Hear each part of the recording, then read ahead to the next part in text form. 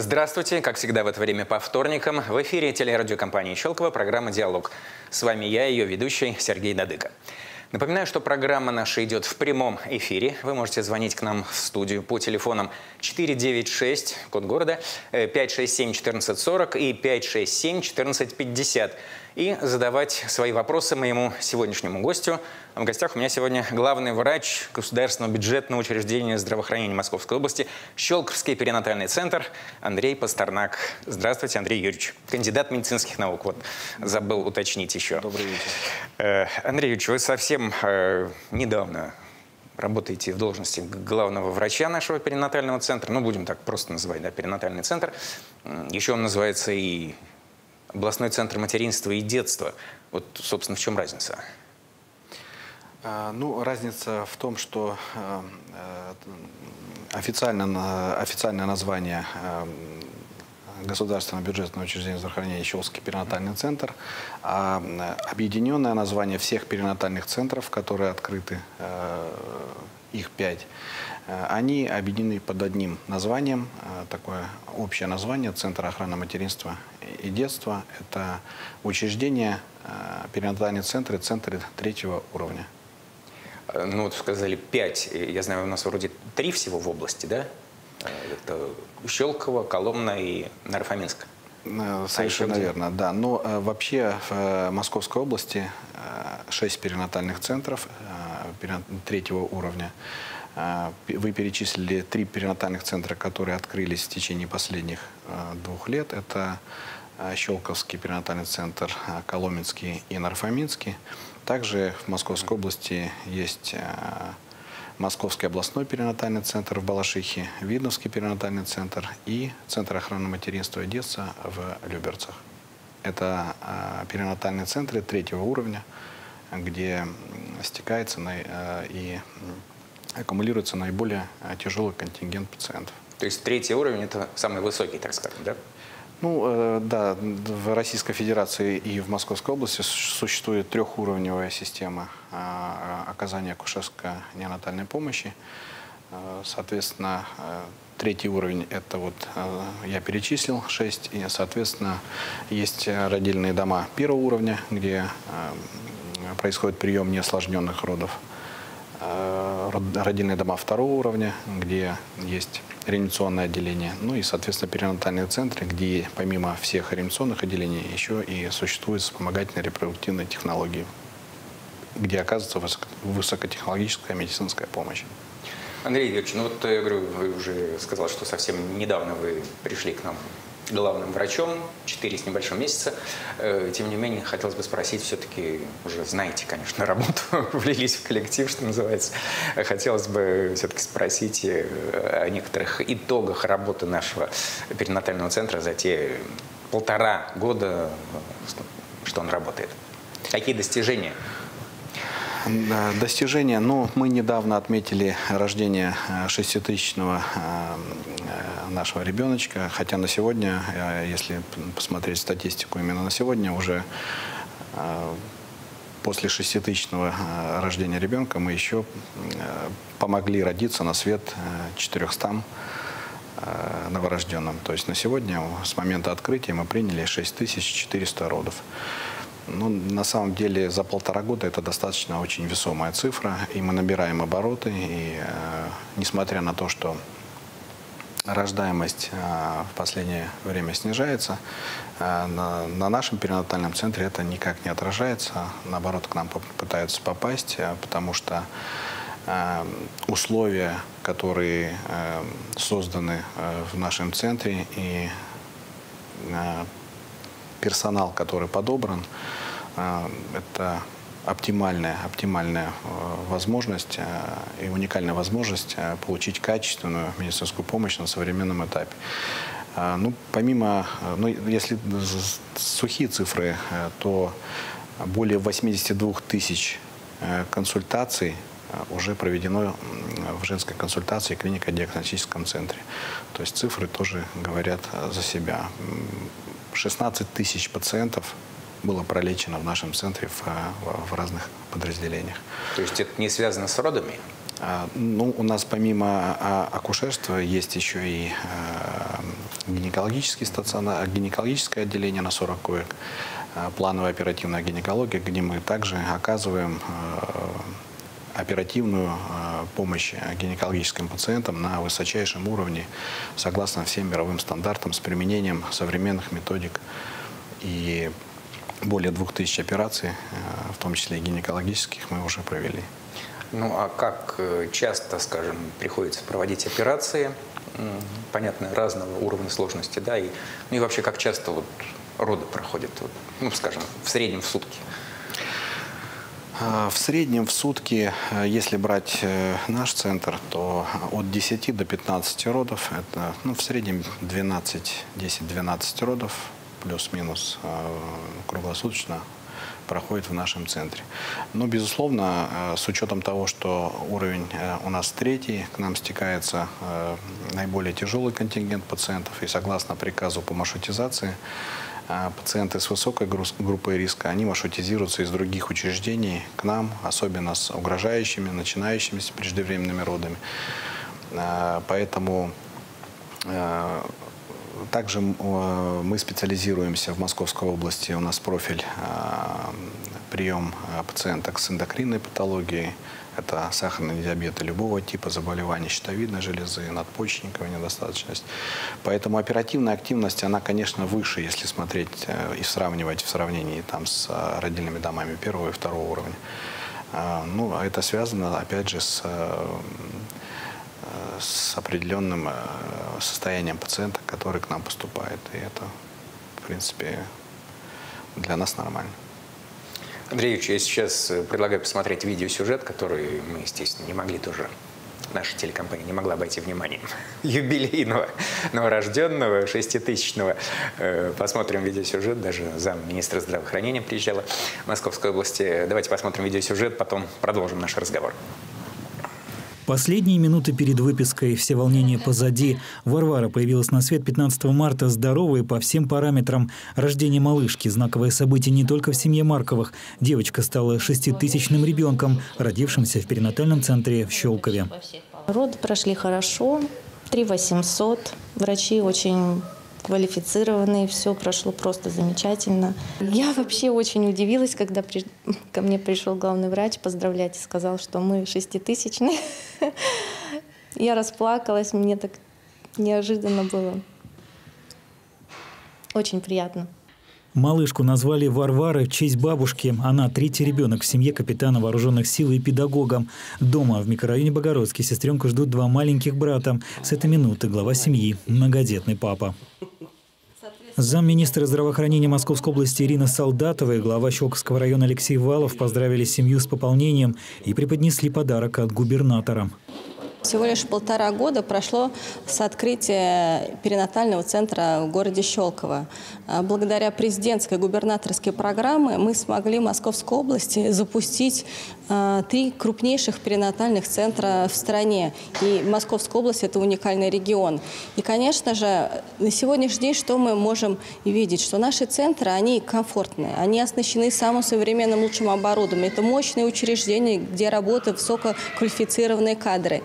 И с каждым днем сюда приходит все больше и больше пациентов. То есть 6 тысяч детей уже родилось в этих стенах, и сейчас слышатся голоса из разных палат. Это говорит о том, что здесь есть жизнь, и что она продолжается, и к нам приходит все больше и больше женщин в наши центры. Екатерина во время беременности находилась под наблюдением специалистов перинатального центра. Здесь прошла курс подготовки к родам. Мамам, испытывающим трудности в выхаживании в центре, окажут высокотехнологичную помощь. Со дня открытия наши медики выходили 80 малышей с экстремально низким весом. В историю вошел уникальный случай по спасению 500-граммового младенца. Андрей Ильич, ну вот э, давайте тогда мы начнем, наверное, продолжим, вернее, разговор э, по поводу, хотелось бы узнать по поводу оборудования. Каким современным оборудованием оснащен центр, какие-то э, новейшие технологии применяются? Ну, безусловно, конечно, ну, начнем с того, что этот центр по площади 35 тысяч квадратных метров, что впечатляет само по себе. И благодаря программе губернатора он оснащен вот всем необходимым для оказания реанимационной помощи как э, взрослым, то есть как пациентам, так и нашим маленьким новорожденным. Но начиная с клинико-диагностического отделения, у нас есть экспертные ультразвуковые аппараты, где мы проводим пренатальную диагностику для выявления врожденных пороков развития уже на раннем сроке. У нас есть отделение лучевой диагностики, где э, в две смены работает э, магнитно-резонансный томограф, маммограф. Э, то есть у нас есть и маммография, возможность сделать МРТ любой части тела, рентгенография.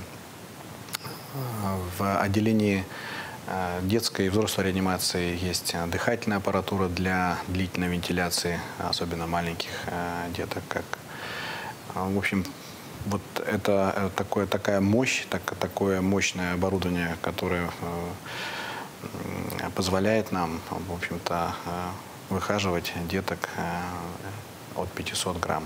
Также э, у нас есть лицензия по неонатальной хирургии, у нас есть возможности, мы это делаем с прошлого года.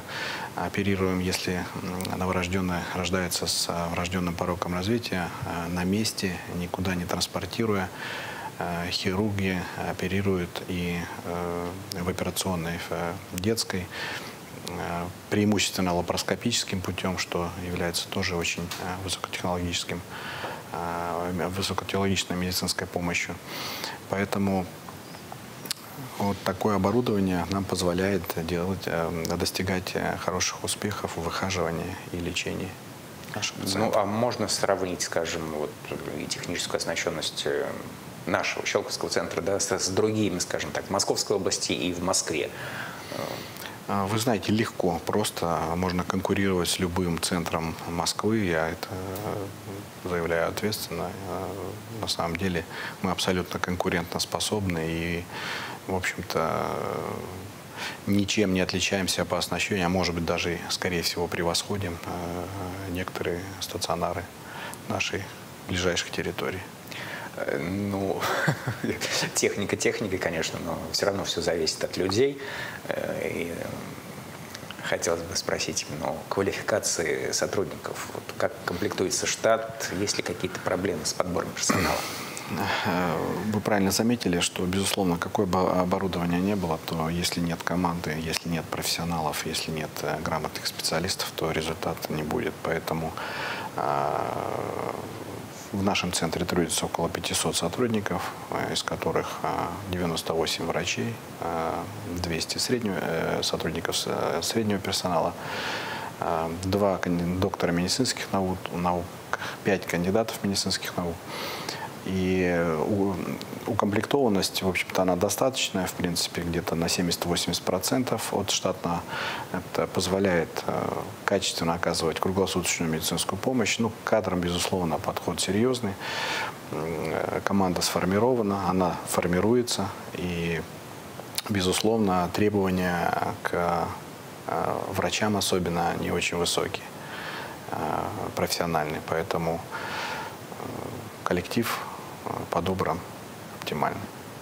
Ну вот, чтобы еще проиллюстрировать э, ваши слова да, о высокой квалификации врачей. Напомню нашим зрителям, что совсем недавно, в середине апреля, э, врачи Щелковского перинатального центра вместе с врачами второй э, больницы провели уникальную операцию по спасению, в прямом смысле слова, по спасению двух жизней. Мама, которая находилась уже, так скажем, на грани родов, да, и ее, естественно, врожденного ребенка. Мы тоже сняли видеосюжет, давайте посмотрим, потом продолжим разговор. Надежду Аликулову доставили в приемное отделение Щелковского перинатального центра практически без сознания. Женщине, находившейся на последнем месяце беременности, экстренно сделали УЗИ и с подозрением на разрыв селезенки увезли в операционную. Ждать нельзя было ни минуты. Хирурги Щелковской районной больницы номер 2, акушеры-гинекологи и врачи-неонатологи перинатального центра приняли решение провести совместную операцию. Благо отделение хирургии находится в соседнем здании. Медики сделали почти невозможное, спасли жизнь маме и новорожденной. Девочку прямо с операционной доставили в реанимацию. Сердцебиение у малышки едва прослеживалось. Ребенок испытал тяжелую гипоксию. Интубирован в родильном зале, переведен на аппаратную вентиляцию легких, доставлен сюда в реанимацию для оказания помощи. Собственно, тяжесть состояния была связана с перенесенным тяжелым кислородным голоданием. Малышки провели гипотермию. При помощи специального оборудования снизили температуру тела до 34 градусов. Так, на протяжении 72 часов врачи спасали клетки головного мозга от кислородного голодания. Спустя 6 дней новорожденная перешла на второй этап выхаживания. Еще через 6 выписана домой, в поселок Свердловский. Спасибо большое врачам. Вообще замечательно ко мне отнеслись. Что к ребенку, что ко мне. Нас так долго держали, тут смотрели за обоими, да, скажи. И анализы, и обследования, все сделали. Как-то можете прокомментировать, вот, насколько часто встречаются такие экстренные случаи, и вот э, по данному конкретному, да, э, по данной конкретной ситуации, что действительно там было, насколько это все серьезно? Ну, на самом деле, э, случай крайне, э, к счастью, наверное, редкий, разрыв аневризмы селезеночной артерии. И э, это первый случай э, у нас в центре за эти два года. И э, с радостью всегда хочется подчеркнуть, что он закончится благоприятно, потому что летальность, э, то есть гибель пациентки э, в момент кровотечения, она приближается э, к очень высокому проценту. То есть э, пациенты, как правило, не успевают доехать до а, родильных домов, до больниц и э, массивно, погибают от массивного кровотечения. Э, и очень приятно, что благодаря, в общем, такой слаженной работе удалось, не теряя минуты, оказать всю необходимую реанимационную, операционную помощь. А, пользуясь случаем, хотел поблагодарить и коллег, а, своих коллег в первую очередь поблагодарить а, бригаду, которая работала, и коллег, хирургов э, во главе с руководителем Дмитриевичем городской больницы, которые откликнулись и тоже оперативно подключились и, в общем-то, сделали свой, свой этап работы, и мы видим две спасенные жизни. Повторяю, что, как правило, разрыв селезеночной артерии заканчивается неблагоприятно. Ну а в части критических состояний, э, конечно, пациенты поступают и с кровотечениями, и с, э, и с, э, в тяжелом состоянии. Ну, буквально, если вот неделю назад у нас пациентка поступила в состоянии гипогликемической комы, и опять же, благодаря слаженной работе помощь была оказана, малыш стабилизирован. А, и мама тоже, в общем-то, вышла из этого состояния. Сейчас, в общем-то, находится в стабильном состоянии. А, опять же, повторяю, что наш профиль а, и уровень наш, мы с этим чаще сталкиваемся, чем все остальные, поэтому стараемся быть готовы к любой ситуации и, соответственно, опять же, благодаря командной и слаженной работе ну, скажем, а, менее критические случаи, чем вот тот, о котором мы э, только что э, узнали из видеосюжета. Допустим, специализация недоношенных детей. Вот в предыдущем репортаже речь шла и о том, что вы спасаете детей от 500 грамм, родившихся, естественно, преждевременно. Э, и вот тоже насколько часто такие случаи бывают? Кстати, вот э, по поводу последнего сюжета по гипотермии новорожденных, вот охлаждение ребенка, вот э, хотел бы еще два слова сказать. Это как раз и есть высокотехнологическая медицинская помощь. Э, когда, применяя вот методику охлаждения, общего охлаждения организма, удается предотвратить необратимые последствия в э, головном мозге, гибели нейронов. И, в общем-то, даже детки, которые рождаются в состоянии гипоксии доношенной, благодаря вот этим методикам, они потом выходят и, эм, и в общем-то, с минимальными последствиями, либо здоровыми. А, да, конечно, э, мы специализируемся на приеме э, преждевременных родов. Самый э, сложный срок преждевременных родов – это очень ранние преждевременные роды с 22 до 28 недель. Это вот от 500 грамм. Безусловно, наша специализация как раз оказывать помощь таким значит, э, маленьким э, пациентам. В год у нас э, в прошлом году до килограмма мы пролечили около 70 детей. А в среднем через детскую реанимацию у нас проходит от, около 500-600 новорожденных получающих реанимационную помощь и интенсивную терапию. Это вот до килограмма или, или уже Нет, больше? До, до килограмма, в принципе, их там от 50 до 70 в среднем, ну а дальше уже новорожденные с другой весовой категории. Больше там килограмм 500, 2, есть доношенные детки. Э, э, то есть если требуется им какая-то помощь. Это очень важно, когда, э, в общем-то, в одном центре сконцентрированы все службы, не нужно никуда транспортировать ни маму, ни новорожденного. Все в пределах шаговой доступности. Очень, кстати, очень строение правильное. Да, вы на одном этаже находится и родзал, и отделение, и операционное, и отделение э, взрослой реанимации, и детской, э, что позволяет не терять минуты на транспортировку с этажа на этаж. Вот это все позволяет, в общем-то, э, достигать таких хороших результатов. Ну, а вот, опять же, если коснуться каких-то экстренных случаев, да, патологий, как попадают к вам пациенты? Они раньше, э, заранее наблюдаются как-то, да, уже удается выявить? Или это вот э, на ну, скорую помощь перевозят? Значит, э, наш сектор Щелковский, так вот, если да, начать, я хотел бы напомнить, что самый крупный сектор Московской области у нас сражает в, в секторе 17, 17 тысяч родов приблизительно. В 2018 году было 17 тысяч родов.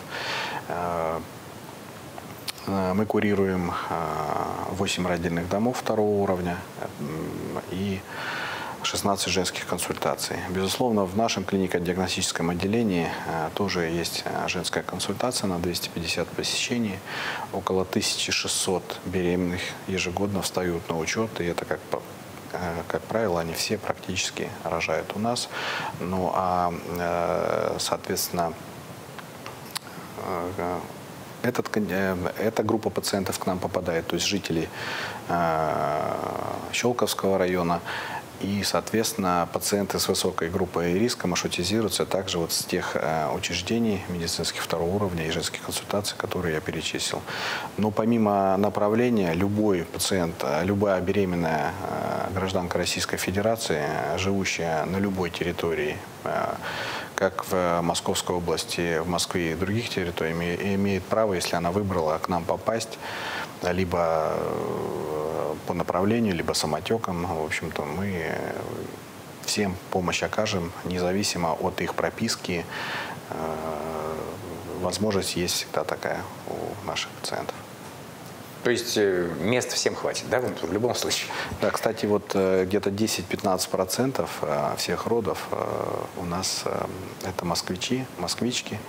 То есть поток у нас не, не, не, не только он а, остановился, но и к нам уже пытаются попасть с других территорий, в частности и из Москвы. То есть, в общем-то, это говорит тоже о многом, потому что э, уровень э, акушерской неонатальной службы в Московской области вот с введением вот этих центров, он э, вырос и находится на достойном уровне. Но это тогда, если можно еще раз, да, прокомментировать цифры, которые вы назвали, да, то есть мы будем отталкиваться от 6400, да, родившихся вот практически на сегодняшний день, да, то есть достаточно большое число за полтора э, года. И, ну, вы сказали, что порядка, да, 1600 стоит на учете, да, будущих мам. Э, но если помножить, да, 1600 в год – на полтора это будет немногим более двух тысяч, да, а у нас уже больше шести тысяч только новорожденных. Вот эти четыре тысячи, это вот они не стояли на учете, да, все Нет, приехали со стороны? Они стояли на учете, только они стояли на учете в Щелковском секторе. Угу. А Щелковский сектор, он большой, это города Мытищи, Королев, э, Сергиев Посад, э, Солнечногорск, Дубна. И, соответственно, пациенты с высокой группой риска, они должны маршрутизироваться к нам. Э, и, соответственно, их э, к нам направляют. Даже если они у нас не стоят на учете в женской консультации, они приезжают к нам, э, консультируются и потом уже роды разрешаются. Ну, а и еще вот одна тоже цифра, которая в начале программы прозвучала, сказали, там 82 тысячи консультаций проведено да, за все время существования центра. Это, вот, ну, скажем так, еще на порядок больше. Это вот тоже все пациентки вот как раз, как Щелковского раз, сектора? Да, как раз это пациенты Щелковского сектора, Щелковского района, в первую очередь, Щелковского сектора, которые маршрутизируются да, и направляются на консультацию. А, у нас есть э, кабинет пренатальной диагностики, э, то есть мы в Щелковском районе э, выполняем всем беременным ультразвуковые исследования первого, второго скрининга. То есть они должны выполняться у нас. Поэтому вот, а также у нас прием есть еще и узких специалистов. Это уролог, кардиолог, терапевт. Соответственно, вот помимо акушерской гинекологической помощи, эндокринолог. А вот, соответственно, э, и благодаря этим узким специалистам удалось, э, скажем так, вот достичь такой цифры, и она только увеличивается. Спасибо, Андрей Юрьевич. Напоминаю, что в гостях у программы «Диалог» сегодня главный врач Щелковского перинатального центра, кандидат медицинских наук Андрей Пастернак. Мы вернемся к вам после небольшого перерыва. Не переключайтесь.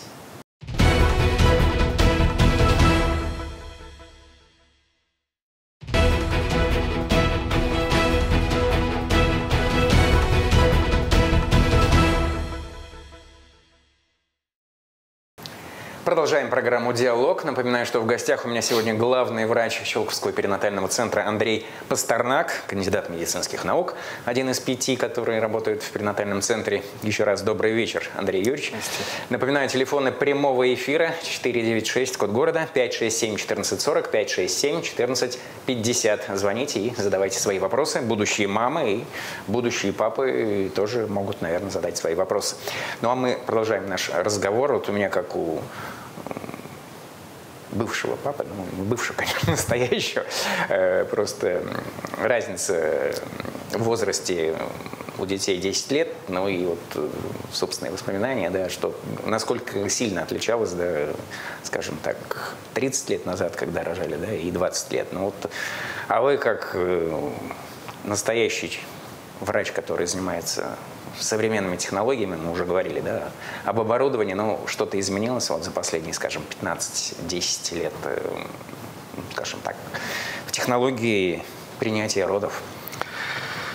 А, ну, а, когда мы рождались, да, наверное, было классическое акушерство, если его так можно назвать. Но на, сегодняшний день вот э, мы пропагандируем, ну и вообще, в принципе, тенденция идет к, к бережному ведению родов. Ну, казалось бы, как по-другому вести, но тем не менее э, мягкие роды пропагандируем, э, наш центр пропагандирует. Э, что это значит? Это значит в том, что пациентка может свободно перемещаться, она не прикована к кровати, ее не заставляют там, лежать, она может использовать специальные приспособления для того, чтобы переносить больше схват, легче схватки. Это фитболы, стульчики, и, соответственно, с минима, минимальное вмешательство вообще в процесс родов. Вот э, это наш, наш лозунг и, в общем-то, наша э, методика, потому что чем естественные роды происходят, и мы даем возможность пациентке пройти все фазы родов, латентную активную фазу замедления, в общем-то, и результат, соответственно, Э, соответствующий. Э, поэтому вот э, мягкие роды, партнерские роды, благожелательное отношение к пациентке, всесторонняя помощь как родственников, так и персонала. Вот, в общем-то, я не могу сказать, что это новые технологии, но это все равно несколько другое отношение, потому что если раньше нельзя было вообще попасть в родильный дом заранее, то на сегодняшний день Э, родильные дома открыты для пациентов и их э, будущих пап. Э, есть дни открытых дверей, когда есть уникальная возможность посмотреть родильные боксы, послеродовые палаты. Поэтому это уже мост, тот мост доверия э, формируется между э, врачом и пациентом. Это тоже сказывается, в общем-то, на хорошей, хорошей, э, хорошем исходе. Но а по технологиям, ну это вот э, я... Это да, больше психологически. Я вкратце рассказал, как, в общем-то, какой подход к самому родовому процессу, если он протекает нормально физиологически. То есть он же по-разному может протекать. Пациентка может вступить в роды с излитием вод. Вот так вот наша методика в том, что мы не спешим ставить капельницу, и, там, вызывать схватки, а даем возможность в течение там, 18 часов а, подготовиться самостоятельно организму пациентки и вступить в родовую деятельность. Это тоже очень важно. А, все эти а, методики мы используем. Также мы специализируемся и ведем роды с, после операции кесарево сечения. То есть наличие так называемого рубца на матке после операции кесарево сечения для нас не является абсолютным показанием для повторной, э, повторной операции э, и оперативного родоразрешения. Поэтому если пациентка информирована, если она понимает, если она в первую очередь э, хочет попытаться родить самостоятельно и избежать операции, то это к нам, в наш центр. И мне приятно озвучить, что уже около 40 пациенток с рубцом на матке с января месяца благополучно родили э, с рубцом на матке у нас э, без осложнений. Самостоятельно? Самостоятельно после э, предыдущего кесарево сечения. Это 25% от всех беременных с рубцом на матке, которые к нам поступают. Это очень достойный показатель. И мы информируем, просто порой пациенты либо не информированы, либо не знают, что есть такие специалисты. И, соответственно, мы доводим до сведения, до сведения уже, э, о пациентах, что у нее есть такая возможность. И если пациентка принимает решение, мы ее в этой части поддерживаем. Вот, вот в этой части э, тоже э, пациентки могут рассчитывать на э, нашу поддержку профессиональную. И в, если беременная приняла решение рожать, то, в принципе, мы, мы ведем э, ее как обычную беременную и ждем начала родовой деятельности. Э, также, в принципе, можно сказать о новой методике, но новая методика – это старая, забытая старая. Значит, э, мы используем, э, применяем при тазовом прилежании, если ребеночек находится в тазовом прилежании, после 36 недель проводим наружный поворот плода с тазового в головное под контролем ультразвукового исследования и кардиотопографии. И вот уже за эти 4 месяца э, успешных 15 поворотов было произведено, где 70, 60 э, или 60, около 60 процентов еще срок кто-то не достиг родов, уже благополучно роды разрешили. Поэтому не, мало учреждений, которые занимаются э, такой методикой. Но вот, э, пользуясь случаем, хотелось бы сказать, что э, мы можем это сделать. И если пациентка с неправильным положением плода она слышит, то она абсолютно может к нам обратиться спокойно. И, в общем-то, мы можем попытаться Э, помочь ей, э, ее ребеночку перевернуться. Эффективность метода 60-70%.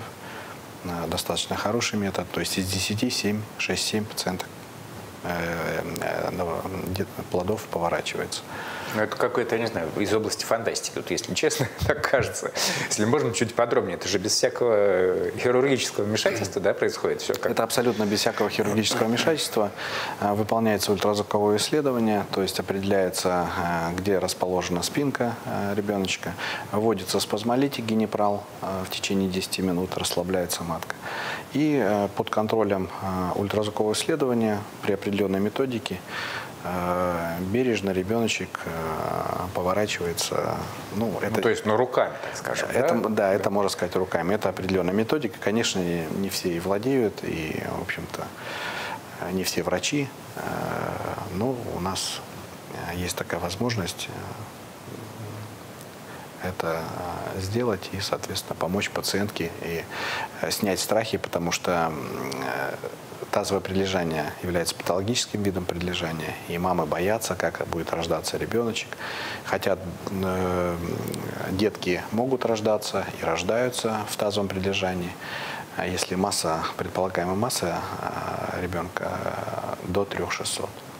После 3600 ребеночек считается крупным в тазовом прилежании. Тогда уже ставится вопрос о плановом кесаревом сечении. И для того, чтобы не доводить его ни до крупного плода, и есть возможность в 37-38 недель, после 36, как я сказал, когда ребеночек э, и в определенной весовой категории нормальный, э, есть возможность его повернуть. Давайте немного отвлечемся от медицинских технологий. Вот хотел задать вопрос, хоть вы учреждений здравоохранения Московской области и обслуживаете, как вы сказали, да, Щелковский сектор, на самом деле это, в общем, достаточно большая площадь, северо-восток Подмосковья. Вот, тем не менее, какая-то, наверное, э, какое-то взаимодействие с э, щелковскими властями у вас тоже происходит? Ощущаете поддержку вот, администрации? Э, конечно, безусловно, большая благодарность администрации. Я, когда приступил к к своим обязанностям, э, узнал, что э, администрация э, очень сильно поддерживает медицинских работников в части арендного жилья, компенсации за аренду. То есть у нас большое количество сотрудников, на память я не могу сказать, в общем-то, и живут в квартирах, которые предоставляет, предоставила администрация в качестве аренды, и компенсируют нашим сотрудникам, э, те, кто арендует, по-моему, 15 тысяч рублей, если я не ошибаюсь. И это десятки, десятки сотрудников. Э, это очень большая подспорье и поддержка. Э, хочу сказать, что у нас где-то около 30-40% сотрудников, специалистов, врачей и среднего персонала они привлечены из э, территории Российской Федерации. И э, тема жилья, она крайне актуальна, безусловно. И в этом плане мы ощущаем очень большую поддержку от администрации. Ну вот э, буквально на днях состоится передача, передача а, парковки администрации значит, через Министерство имущества. Это тоже хорошая помощь, потому что мы долго ждали этого. И а, вот это, это, э, эм, наконец-то эта уже процедура состоится. Я думаю, что в течение этого месяца парковка уже открыта, и есть возможность гостям, пациентам, сопровождающим приезжать и комфортно ставить автомобили, а, чего раньше не было. Это тоже большая-большая помощь. Ну, это прямо на территории перинатального центра или рядом где-то? Это прямо прилегающая территория э, к перинатальному центру. Э, практически она Э, расположена рядом. Э, ну, можно сказать, входит практически в перинатальный центр, находится на границе. И, соответственно, очень хорошая, качественная парковка. И я думаю, что от этого э, благодарны этому и пациенты, и сотрудники, которые, которым раньше не было парковаться. А заезд с какой стороны будет? Э, пока э, с э, территории Шмидта, но я думаю, что, может быть, мы не будем ничего менять. В процессе уже определимся, как это будет оптимально, комфортно и безопасно. Ну, вот, кстати, по поводу заезда, некоторые жители, насколько я знаю, не то что жалуются, да, но так, может быть, критически подходят к тому, что у вас официальный адрес Парковая 6, правильно, да, перинатального центра, а заезд все-таки с улицы Шмидта, а с парковой 6 не, не попасть. А, вот в экстренном случае скорая приезжает, да, ну или не скорая, скорая, конечно, знает, как заезжать, да, ну, скажем, на такси кто-то или на своей машине. Вы ничего не делаете так, чтобы вот понятно было, с какой стороны к вам попасть, ну, особенно если торопится человек родить. Честно говоря, признаюсь, когда я первый раз ехал в перинатальный центр, я сам заблудился, и навигатор меня привез э, на парковую 6 э, с другой стороны, и мне пришлось оставить машину и пройти пешком. Да. Безусловно, принимаю эту, э, ну, скажем так, ситуацию, критику Сейчас уже устанавливается навигация для э, пациенток, если они поступают самотеками или э, добираются своим транспортом. Так у нас основная, основной, основной въезд и э, охрана находится со стороны Шмидта. Да, немножко менять адрес, наверное, мы не будем, но правильную навигацию для того, чтобы пациента было ориентироваться, мы значит, установим и на официальном нашем сайте сделаем поправку, что заезд, или уже сделали, наверное, сегодня, что заезд дополнительно со стороны Шмидт. Ну, вот это нюанс, который, да, имеет место быть. Но мы постараемся. В любом случае, в принципе, есть возможность в любом случае для скорой помощи открыть путь со стороны эвакуационной, ворота со стороны парковой. Но основной путь у нас со стороны, въезд со стороны Шмидта. Э, я думаю, что мы отработаем, чтобы э, каждой пациентке в любое время дня и ночи, неважно, как она к нам э, была доставлена, было понятно, куда двигаться, и если она вдруг заехала с другой стороны, чтобы навигация ей показала, куда ей можно подойти. Андреевич, вот э, не так давно, это в конце марта, впервые на территории перинатального центра нашего Щелковского э, прошла акция, так скажем, общая, окружная да, для всех жителей округа, акция «День донора». Впервые мы, естественно, не могли обойти вниманием телевидение это событие. Давайте сейчас посмотрим короткий видеосюжет, потом тогда продолжим разговор. Давайте посмотрим. Вы когда-нибудь были донором? Эта процедура считается актом доброй воли во всем мире. Неравнодушные люди готовы пожертвовать свою кровь во благо других. Так в Щелковском городском округе в перинатальном центре в среду состоялась акция «Я твой донор». Помимо обычных граждан, кровь сдали и медработники центра. Всего около 60 человек. Мы сегодня сдаем кровь всем нашим коллективам. Очень приятно, что нам не нужно идти отдельно сдавать кровь. Очень радостно, что это мы проводим на нашем рабочем месте. Очень рады, опять же, третий раз мы рады, что э, мы оказываем помощь нашим пациентам и всегда и э, всем коллективам без исключения очень отзывчиво приходим на данную акцию. В акции приняли участие и волонтеры городского округа Щелково, которые следили за тем, чтобы каждому пришедшему до процедуры предложили сладкий чай, а после фруктовый сок. Также всем сдавшим кровь вручили специальные карточки донора и значки. Ну, вообще День донора у нас в округе проводится с завидной регулярностью. В основном, конечно, на, станции переливания крови. Первый раз в перинатальном центре. Еще планируете проводить нечто подобное?